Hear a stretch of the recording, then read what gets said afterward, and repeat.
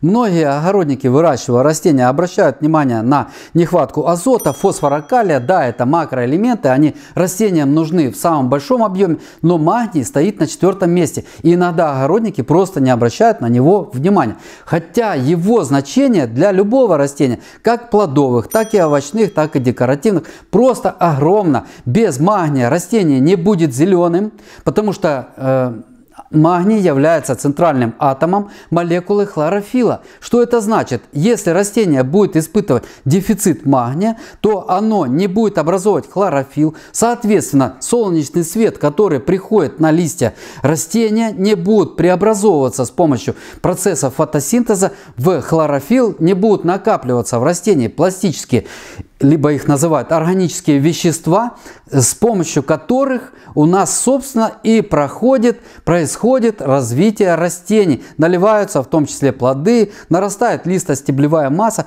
То есть, друзья, э, если коротко говорить, будет э, растение ощущать дефицит магния, либо магния вообще не будет, растение перестает развиваться. Вот настолько велико значение магния для любого растения, которое имеет зеленый цвет. Ну, а у нас, собственно, большинство, если не сказать все растения, именно зеленого цвета, которые мы с вами выращиваем.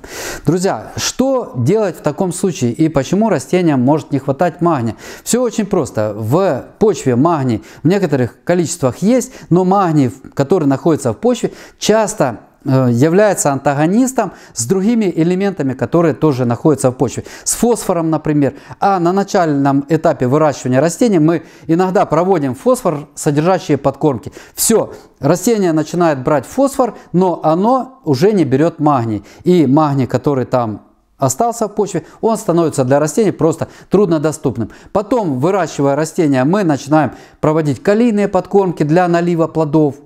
И, соответственно, калий, являясь антагонистом магния, то же самое заходит в первую очередь, магний остается в почве. Растение желтеет и часто можно заметить на поздних этапах выращивания томатов, как листья на них закручиваются в трубочку. Друзья, это один из признаков нехватки магния в растении.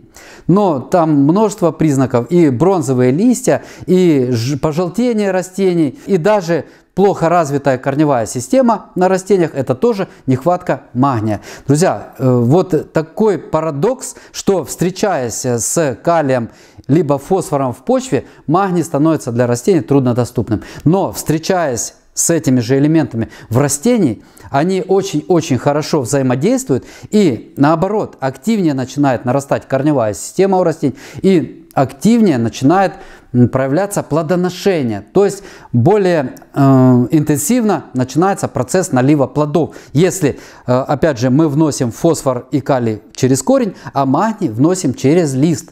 Поэтому я бы рекомендовал, друзья, если вы не уверены, что у вас в почве э, не произойдет вот этого конфликта, то проводить магниевые обработки по листу. Множество магний содержащих препаратов есть на рынке. Я могу рассказать за тот, которым мы пользуемся на протяжении последних э, трех лет.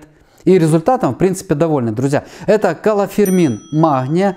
Э, магний в этом препарате в легкодоступной форме и хорошо э, усваивается через лист. Он легко проходит и быстро начинает э, взаимодействовать.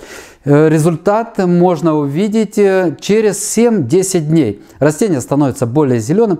Многие огуречники используют этот препарат для того, чтобы плоды, зеленцы, были насыщенно зеленого цвета, чтобы они были изумрудно-зеленого цвета.